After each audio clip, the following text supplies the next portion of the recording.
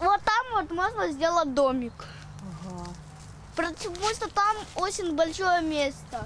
А также отличное место для игры в прятки. Восьмилетний Дима прячется в яме от дедушки и уверен, тут его точно не найдут. Только вот опасности подстерегают на каждом шагу. То и дело упадешь. Чисто тут была трава, ну, там были трещины, потом детки туда упали и все. На деревьях, считает школьник, безопаснее, чем на земле. Участок здесь, как решето, все в дырах. Раньше во дворе стояли сараи, потом они сгорели, а погребные ямы остались. Ямы были добротные, советские. Тут ходить опасно вообще, я тебе сразу скажу. Потому что они бывают заросшие, можно рухнуть. Местные жители, переживая за безопасность детей, пытаются обозначить глубокие ямы. Сюда накидывают мусор, а здесь закрывают дыры креслом и матрасом. По словам соседей, они обращались в администрацию города, но ничего не изменилось. Сколько мы стучимся, чтобы у нас это убрали, чтобы, ну, хотя бы вот уберите, нам расчистите.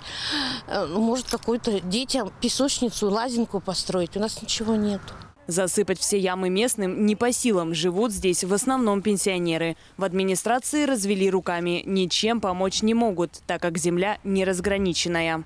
Бывшие владельцы или наследники должны признать, что да, когда-то они им принадлежали, эти объекты. До тех пор, пока вот эта неразграниченная земля, так сказать, не обретет хозяина, вот, такие проблемы могут быть. Однако, по словам адвоката, обязанность администрации – обеспечить безопасность для горожан. Например, можно установить забор или же засыпать ямы, а потом уже взыскать деньги с хозяев бывших сараев.